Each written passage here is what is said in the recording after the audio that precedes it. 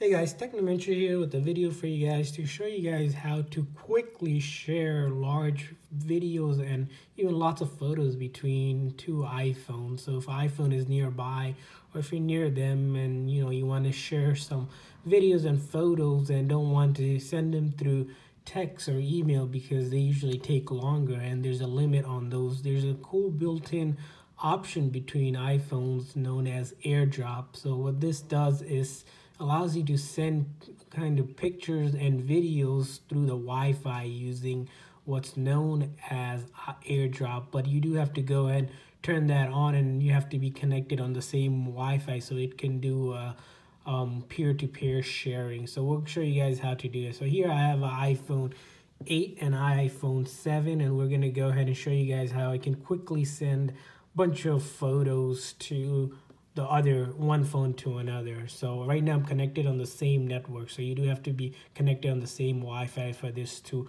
work. And then in the settings, you have to see if you're set up to share um, AirDrop option. So we'll go into settings and then once your settings, go to general and then click on AirDrop on both of your devices. And as you can see, by default, these are only receiving. Um, so there's a couple options for AirDrop. You can only either receive or send um, to your contacts only, or if you select everyone, that will allow anyone to send you stuff. But then when someone sends it to you or you send it to them, they still have to accept. So we're gonna go ahead and select everyone for this purposes. Or if you want to do strictly like between your friends or family, your contacts, I would select that option for the most um, security. So let's go ahead and show you guys how that's done. So once you um, select one of the options to do airdrop, simply go to your photos uh, or videos that you want to share. So I here, as you can see, I have about 16 photos that I want to send over to this phone. I'll show you how quickly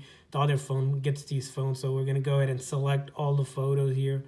So I'm selecting all 16 photos here and then you want to hit the option button and once you hit the option button you'll see there's um, other phones nearby that is connected to this network. So the so this iPhone 8 that I have um, is the iPhone. So I'm going to select iPhone. Once I select iPhone, I should see a pop-up. See, here's a pop-up of saying that there's 16 photos that are being airdropped. To, I can decline it or accept it. If I accept it, um, it will start sending. As you can see here, it's sent it already. And now if I open up photos here, it opens up the photo app actually right away and shows us all these photos that were just airdropped to us. And that took about a second or two. Whereas if you're sending on mail or even through message or iMessage, usually sometimes there's a lag because there's so many photos and this works even well if you have videos as well as long as the devices are nearby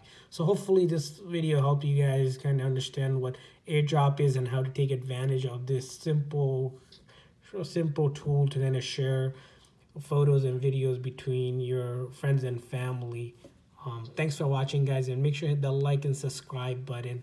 See you guys next time